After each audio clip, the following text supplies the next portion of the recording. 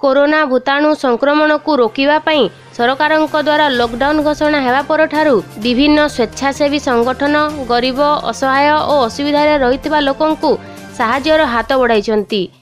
ସେହିପରି ସୁବର୍ଣ୍ଣପୁର ଜିଲ୍ଲା ତରଭା ବ୍ଲକ ସରଗଜ ପଞ୍ଚାୟତର ବଜରଙ୍ଗ ଦଳର ସଦସ୍ୟମାନେ ଲକଡାଉନ ଘୋଷଣା ହେବା ପରଠାରୁ ପ୍ରତ୍ୟହ ଗରିବ ଅସହାୟ ଏବଂ ଅସୁବିଧାରେ ରହିଥିବା ଲୋକମାନଙ୍କୁ ରନ୍ଧା ଖାଦ୍ୟ ବଣ୍ଟନ କରୁଛନ୍ତି।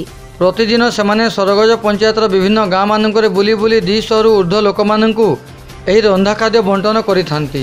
ସକାଳୁ ଶୀଘ୍ର ଉଠି ନିଜେ ଖାଦ୍ୟ ପ୍ରସ୍ତୁତ କରି ଦିନ ବାର ଘଣ୍ଟା ସମୟରୁ ଭାଗ ଭାଗ ହୋଇ ଅନ୍ୟ ଗାଁମାନଙ୍କୁ ଯାଇଥାନ୍ତି। ଏହି କାର୍ଯ୍ୟରେ ବଜରଙ୍ଗ ଦଳର ପ୍ରାୟ ତିରିଶରୁ ଉର୍ଦ୍ଧ୍ୱ ସଦସ୍ୟ ସାମିଲ ହୋଇଥିବା ସେମାନେ ପ୍ରକାଶ କରିଛନ୍ତି। ଏହି ମହତ୍ କାର୍ଯ୍ୟ ପାଇଁ ସେମାନେ ନିଜ ନିଜ ଭିତରେ ଅର୍ଥ ବାହାର କରିବା ସହିତ ଅଞ୍ଚଳର ଅନେକ ବ୍ୟକ୍ତି ତାଙ୍କୁ ସହଯୋଗ କରିଥାନ୍ତି। ଏଥିରେ ବଜରଙ୍ଗ ଦଳର ସଭାପତି ବଣ୍ଟି ନାୟକ ସମ୍ପାଦକ ସୁବଲ ଗୁରୁଙ୍କ ସମେତ ମଧୁ ନାୟକ ବିକାଶ ସେଠୀ ଆଲୋକ ନାୟକ ସୁରେଶ ସାଥୀ ପ୍ରମୁଖ ମୁଖ୍ୟ ଭୂମିକାରେ ରହିଛନ୍ତି